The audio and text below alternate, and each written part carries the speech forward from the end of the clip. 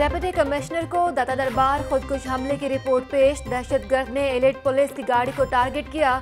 شہباز نامی شخص نے اپنے موبائل سے ایمرجنسی کال کی، ریسکیو اور ایدھی فاؤنڈیشن نے زخمیوں اور مرنے والوں کو میو ہسپتال منتقل کیا۔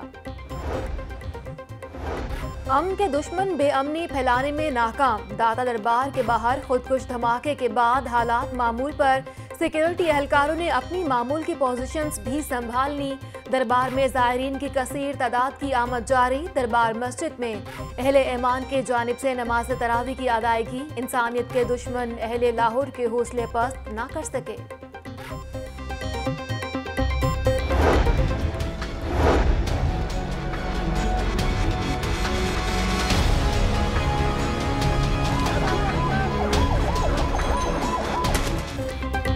داتا دربار میں بم دھماکے کا مقدمہ، تھانہ سی ٹی ڈی میں درج، دہشت گردی، قتل، اقدام قتل سمیت دیگر دفعات شامل۔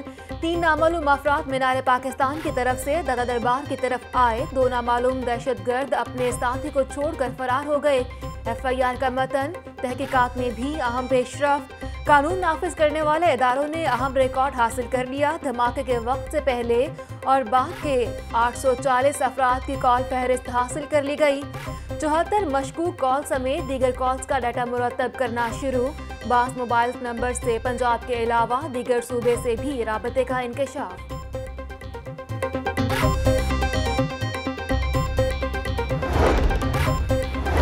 کی راہ میں چار پولیس جوان شہید گجراوالا کے ہیڈ کانسٹیبل محمد سہیل کوٹ مومن کے ہیڈ کانسٹیبل گلزار علی نے جامع شہادت نوش کیا۔ مصطفیٰ آباد قصور کا ہیڈ کانسٹیبل شاہد نذیر اور باغبان پورہ لاہور کا کانسٹیبل محمد سلیم بھی شہدہ میں شامل۔ زخمی پولیس ملازمین میں کانسٹیبل صدام حسین، محمد اعجاز اور کامران ہسپتال میں زیر علاج۔ جان جوکھو کی نوکری اور پھر فرض کی راہ میں جان دے دی۔ دھماکے میں نجی کمپنی کا سیکیورٹی گارڈ رفاقت بھی جاں بھاگ۔ مستری شاہ کا رہائشی رفاقت تین بیٹیوں کا باپ تھا۔ دھماکے کے وقت گیٹ نمبر دو پر ڈیوٹی پر معمور تھا۔ گھر میں کوہرام مچ گیا ہر آنکھ اشک بار۔ رفاقت کو پانچ ماہ سے کمپنی کی جانب سے تنخواہ نہ ملی۔ معاشی مسائل کا شکار تھا۔ شہید کی بیٹی پر باپ کا سایہ چھن جانے پر سخت تاری سانحہ داتا دربار شہید اہلکاروں کی نماز جنازہ۔ کلا گجر سنگھ میں ادا۔ وزیر اعلیٰ، governor, chief secretary I G Punjab سمیت دیگر پولیس افسران کے شرکت۔ بشارت راجہ، میاں اسلم اقبال، سمیلہ چودھری، وزیر اوقاف سمیت دیگر اہم شخصیات بھی شریک۔ شہدہ کو گارڈ آف آنر پیش۔ پولیس کے چاکو چوبند دستے نے سلامی دی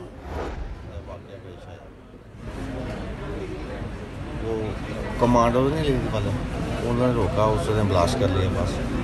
جب میں وہاں سے گزر رہا تھا، تو ایک دم نہ بلاسٹ ہوا ہے، تو میں نے پیچھے مڑ کے دیکھا تو دھواں نکل رہا تھا، آگے لگی ہوئی تھی۔ لوگ بگدر مچی ہوئی تھی، لوگ بھاگ رہے تھے۔ میں نے اپنی ٹانگ پہ دیکھا تو خون نکل رہا تھا۔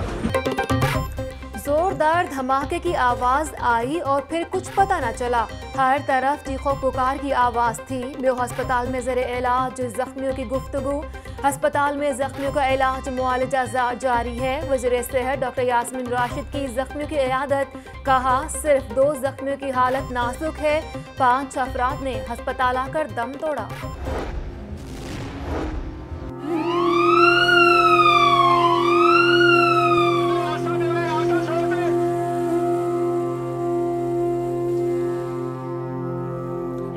شدید تھا۔ زخمی مجھے کوئی بھی نظر یہاں پر ہے۔ یہاں پہ صرف ڈیڈ باڈی نظر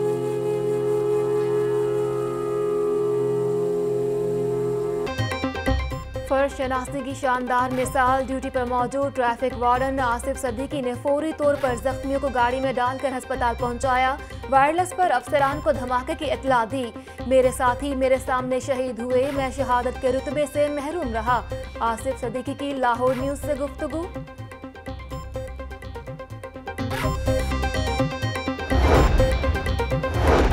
حملہ آور نے ایلیٹ فورس کی گاڑی پر حملہ کیا۔ سو فیصد پولیس اہلکار ہی ٹارگٹ تھے۔ پولیس پر حملہ دہشت گردوں کی بخلاہٹ کی علامت ہے۔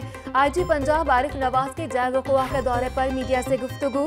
دھماکے کے وقت چوہتر اہلکار دربار میں تعینات تھے۔ فرض کی ادائیگی میں جان قربان کرنے والے جوان ہمارا فخر ہیں۔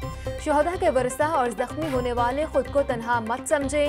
سی سی پی او لاہور کی press conference, D I G operations Ashfaq Khan کہتے ہیں، داتا دربار میں زائرین کی آمد کا سلسلہ جاری ہے۔ پولیس اہلکاروں نے اپنی ڈیوٹیاں سنبھال لی عوام کو فول پروف سیکیورٹی دیں گے۔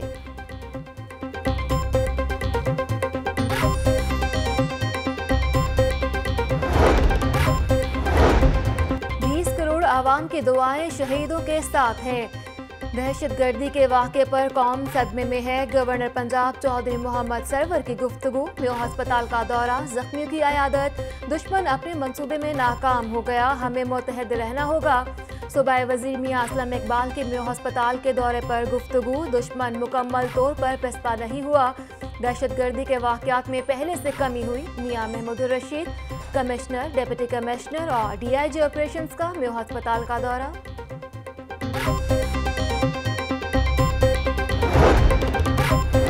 شاہ شریف کی دگا دربار حملے کی مذمت، حمزہ شہباز کا بھی واقعے پر گہرے دکھ کا اظہار۔ مبارک مہینے میں دلخراش واقعے پر افسوس ہے۔ نون لیگ لواحقین کے ساتھ کھڑی ہے ویڈیو پیغام۔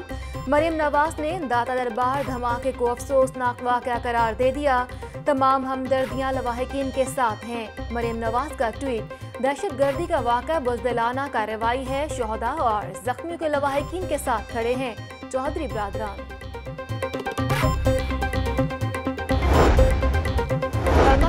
واقعہ سینچری ٹاور میں آتش زدگی، کروڑوں روپے مالیاتی سامان جل کر خاکستر۔ آگ شارٹ سرکٹ کے باعث لگی۔ ریسکیو ٹیموں نے دو گھنٹے بعد آگ پر قابو پایا۔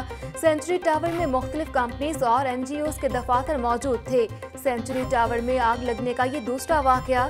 پلاسے میں کوئی بھی خارجی راستہ موجود نہ ہونے کا بھی انکشاف۔ ریسکیو ٹیموں کی بروقت کاروائی سے سولہ افراد کی جان بچ گئی۔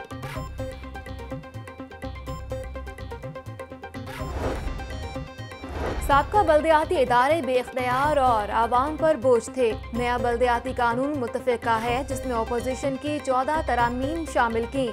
سول سوسائٹی کی تجاویز کا اتفاق رائے سے جائزہ لیں گے۔ صبح وزیر بشارت راجہ کی لوکل گورنمنٹ پر کام کرنے والی سول سوسائٹی کے وقت سے ملاقات میں گفتگو۔ چینی کے حصول کے لیے شناختی کارڈ دکھانے کی شرط ختم کرنے کا فیصلہ صوبہ وزیر صنعت کی زیر صدارت کابینہ کمیٹی برائے پرائس کنٹرول کا اجلاس۔ رمضان پیکج پر عمل درآمد، اشیاء ضروریہ کی قیمتوں اور دستیابی کا جائزہ۔ میاں اسلم اقبال کہتے ہیں، عوام کو معیاری اور سستی اشیاء فراہم کرنا ترجیح ہے۔